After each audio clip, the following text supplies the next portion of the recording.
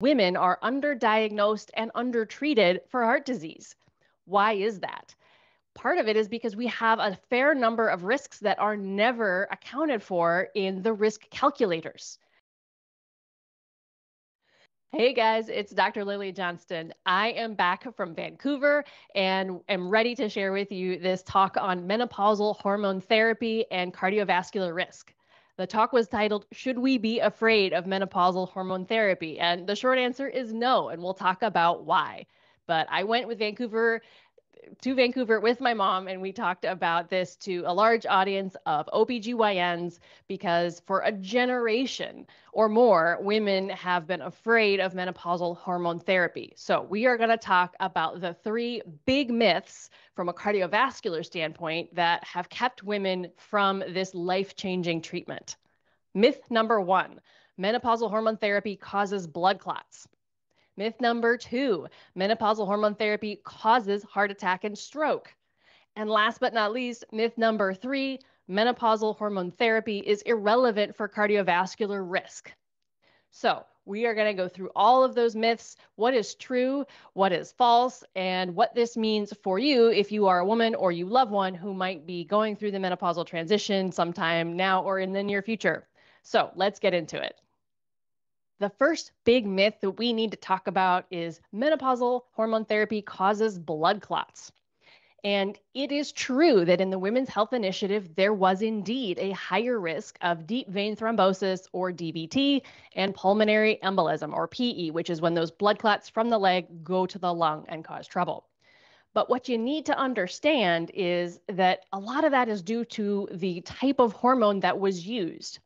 Since the Women's Health Initiative, we have studied extensively the different types of hormones and the Provera, the progestin that was used in Women's Health Initiative is prothrombotic. So that particular type of hormone does cause blood clots, but the micronized progesterone, the bioidentical or isomolecular progesterone that we are now using as kind of the foundational progestin or progesterone for women, does not cause blood clots. We have studied it in randomized controlled trials, and the risk is very, very low. The other piece is the estrogen, and estrogens are known to cause blood clots when used orally, for example, birth control pills. But the estradiol that we now use most frequently in menopausal hormone therapy is absolutely safe in average risk women when it's given through the skin or transdermally. So that can be done as a cream, as a patch, as a ring. But even orally, now this is where some people will differ. There are people that should that would say we should never prescribe oral estradiol or any oral estrogen for people because of the risk of blood clots but the data don't actually completely support that. We have a couple of really good randomized controlled trials with oral estradiol that, in average to low risk patients, does not show an increase in risk. Now, you could say, well, why would you ever give oral if it's even less risky to give transdermal?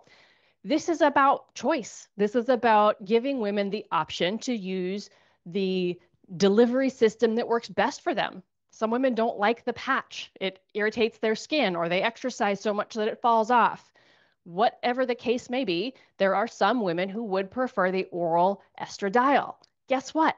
If they do not have elevated risk for venous thromboembolism or blood clots, what are those risks? Well, history of a blood clot, family history of blood clotting problems, migraine with aura, cancer, active smoking, all of those things I would consider higher risk. And I would not offer that patient oral estradiol. But for somebody who has never had a blood clot, does not smoke, has no migraines, has really been healthy and fit her whole life, oral estradiol is one of several reasonable options. So let's not confuse the blood clots that absolutely did happen in the Women's Health Initiative with what can be done today safely with modern hormone formulations because not all menopausal hormone therapy causes blood clots, just some. And understanding what your options are, what your risk is, is really important. So that's myth number one. Menopausal hormone therapy does not uniformly cause blood clots. The truth is that not all menopausal hormone therapy formulations have equivalent risk. The truth is that not all patients have equivalent thrombotic risk or risk for clotting. But transdermal estradiol, meaning through the skin, and micronized progesterone is by far the lowest risk option. And in patients who are on that regimen, rates of blood clots are near or equivalent to the population average. So the myth that it always causes blood clots just isn't true. The second big myth is that menopausal hormone therapy causes heart attack and stroke. This is what was reported at the big press conference that halted the Women's Health Initiative and basically by default all menopausal hormone therapy in the country for decades because they reported an increased risk of heart attack and stroke as well as breast cancer in the treatment arm of Women's Health Initiative. But if we now look 13 years later, or they looked 13 years after and saw that in fact the risk of heart attack wasn't real, once they better adjudicated the outcomes, the heart attack thing kind of went away. The risk of stroke did persist in Women's Health Initiative, but as we just talked about, stroke is a clotting problem, and the agents that were used in Women's Health Initiative are a little bit prothrombotic or more likely to result in a clot. So it's not a huge surprise that there was an increased risk of stroke in Women's Health Initiative, but ultimately they did not find every increased risk of heart attack. And if we look at the time since WHI, if we look at stroke, no other randomized controlled clinical trial has found an increased risk of stroke in women taking menopausal hormone therapy. This includes the Danish Osteoporosis Prevention Study, or the DOPS trial, which was a thousand women randomized to oral estradiol, micronized progesterone, or placebo. And they followed them for 16 years. They stopped the study at 10, but they had 16 years of follow up. No increased risk in heart attack, no increased risk of stroke, and no increased risk of blood clots. So I don't think it's safe to say that all menopausal hormone therapy causes heart attack and stroke. If we go back to the Women's Health Initiative data, we see that those women who did have cardiac events on Premarin and Provera did so in the first year that they were treated. And we think this has to do with something called MMP9 or matrix metalloproteinase 9 that is um, you know, brought on by the Premarin, the estradiol, or excuse me, the estrogens that were used in the Women's Health Initiative. We do not see activation of MMP9 with estradiol. And ultimately, the women who made it past that first year without an event began to have a decreased risk of cardiac events over time relative to that placebo group. The other thing, if you break out the Women's Health Initiative data, the women who started, who were younger, right, who had this intervention somewhere in their 50s, age 50 to 59, or who were less than 10 years into menopause, had zero increased risk of heart attack and stroke when this treatment was started early. So it's really not fair to say that menopausal hormone therapy writ large causes heart attack and stroke. It just doesn't. And our new, more modern formulations do not appear to have this risk. The last myth we need to talk about is that menopausal hormone therapy is irrelevant to cardiovascular health. Now, it is absolutely true that our current guidelines state that menopausal hormone therapy should not be prescribed for the sole purpose of preventing cardiovascular disease. That is true. However, that does not mean that it is irrelevant to cardiovascular disease risk.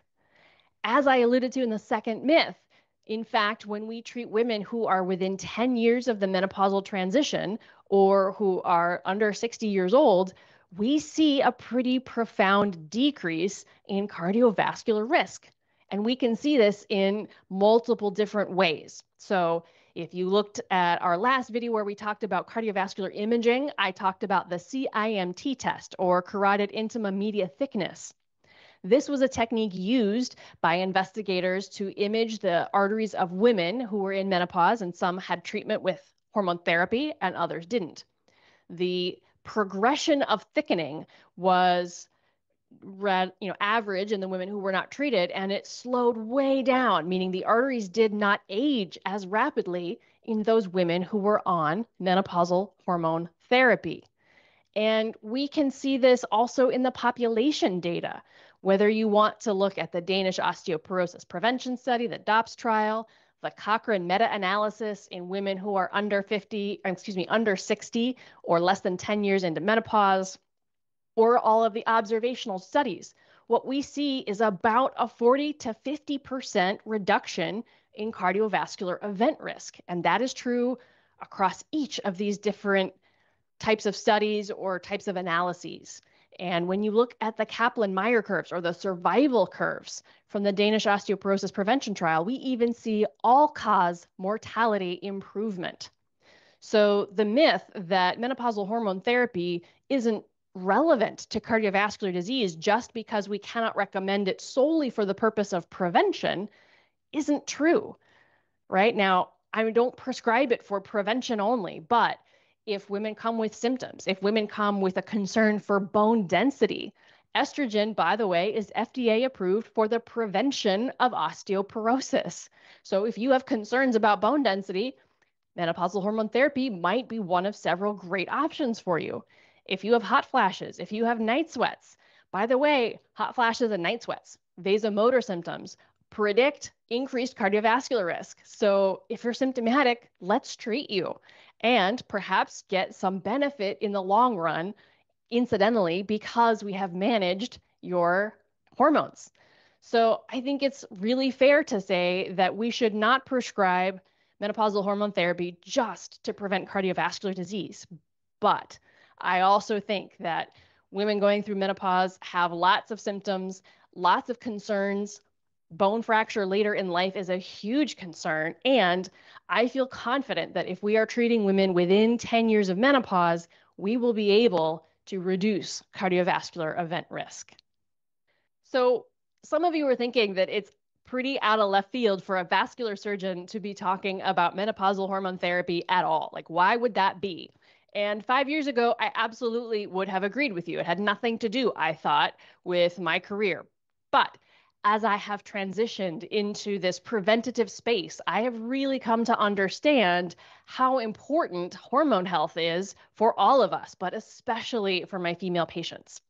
Now, part of this is because women are underdiagnosed and undertreated for heart disease. Why is that? Part of it is because we have a fair number of risks that are never accounted for in the risk calculators. So if you were here for our last video about cardiovascular imaging and risk, you will remember that there was this risk calculator that talks about age and your lipids and your blood pressure, but there are a large number of different risk factors, especially for women, that are nowhere in those calculators. What would some of those be? Polycystic ovary syndrome or PCOS, endometriosis, pregnancy adverse events like gestational hypertension, um, preeclampsia, gestational diabetes, all of these increased risk for heart attack and stroke. Premature or early menopause absolutely increases risk for heart attack and stroke. And we know in those patients, menopausal hormone therapy absolutely brings that risk back to baseline. Things like autoimmune disease, which predominantly impact women, increases risk for cardiovascular disease. So, all of these things impact my female patients, but are nowhere to be seen in their quote unquote risk calculations. So, this is a big deal for women, and we need to talk about it. So, part of understanding why we've been afraid of hormone therapy for a generation or more is figuring out how we got here. Because in the 1980s, there were a large number of observational studies that showed women who were on menopausal hormone therapy, which is estrogen and progesterone, were in fact at lower risk for heart attack and stroke. And so everybody thought, well, great, this is amazing. We need a randomized controlled clinical trial to understand how menopausal hormone therapy could impact this risk. And perhaps all women should take hormone therapy to prevent heart attack and stroke. Enter the Women's Health Initiative, the WHI. This was a large randomized controlled trial that was designed to test the idea that every woman should be on menopausal hormone therapy to prevent cardiovascular disease. That was the question. But to answer that, methodologists designed the trial so that you could randomize women and they wouldn't know which arm they were in, meaning they were blinded. How do you randomize somebody who's having hot flashes and drenching night sweats and tell them, oh, we don't know which one you're getting? Well, if they're getting hormones, they feel better. If they're getting placebo, they still have hot flashes and drenching night sweats. So the Women's Health Initiative said, great, we'll just take asymptomatic women. Perfect, no problem. Now we can blind them. But that really eliminates a large swath of the population, right? And the other thing they did was they wanted to make sure there would be enough heart disease in the participants that they could really show a difference. So they took a cohort of older women. Women on average were 63 years old in this trial and about 10 years or more past the menopausal transition. So good news, they had higher risk of heart attack and stroke and we could measure it. But bad news, that again is not really representative of when we typically treat patients who have symptoms in menopause. So it was an older cohort of women who had already gone through menopause almost 10 years for half or more, and they were not symptomatic. So, really, we need to remember how this trial was designed and why it doesn't really show what we think it shows. The next thing that's important to remember about the Women's Health Initiative is this was done before we had access to so called bioidentical isomolecular or the body's most natural form of the hormones. So, Women's Health Initiative used Premarin and Provera as the hormone. So, Premarin was the estrogen they used, and that comes from pregnant mare's urine, Premarin, and was about 17 different kinds of estrogens, some of which we have as humans and some of which we don't. It was very effective at treating hot flashes and night sweats, but it's not exactly what our own ovaries are making. The Provera was the progestin that they used, and it was a synthetic called medroxyprogesterone acetate because at that time it was very difficult for us to orally absorb progesterone, the natural version that we ourselves make. Pharmacology has come a long way since then, and now we are able to micronize that progesterone and we are able to use what we naturally make ourselves. So people call this bioidentical, isomolecular is probably a better term, but nevertheless, what we are using today for hormone therapy is really different than what we were using in the 1990s. We did the best we knew how at that time, but things have changed. So, we have covered the three big myths about menopausal hormone therapy and cardiovascular risk that it causes blood clots, not necessarily true, that it causes heart attack and stroke, definitely not true, and that it's irrelevant for cardiovascular health. This is not true. So, in conclusion, we know that women are underdiagnosed and undertreated for cardiovascular disease. Cardiovascular disease remains the leading cause of death for women more than all cancers combined. And menopausal hormone therapy can absolutely be part of safe treatment for women through the menopausal transition. Our contemporary formulations, meaning oral estradiol, transdermal estradiol, micronized progesterone, these types of isomolecular or bioidentical hormones are safer than those that we studied when we were doing the Women's Health Initiative. They are safe with respect to blood clots, to heart attack and stroke, and do seem to show some improvement in cardiovascular risk when women are treated within 10 years of the menopausal transition. So when we use this early to alleviate symptoms, to help women feel better and navigate this transition, we, I believe, do great things for their vascular health. And that to me is my mission. You know, I'm here to put myself out of business as a surgeon. And I think this is one of many tools that are in my tool basket that help my patients feel better and will help them live a longer and healthier life. If you have questions about any of this, please drop that in the comments below. We will try to get to that. If there are a lot of questions, we can make a follow-up video. So let me know what you need to hear more about with respect to menopause, hormone therapy, and cardiovascular risk. Leave it in the comments below. Please like, subscribe, or share this video for someone that needs to hear it, and we will talk again soon. Until then, take really good care.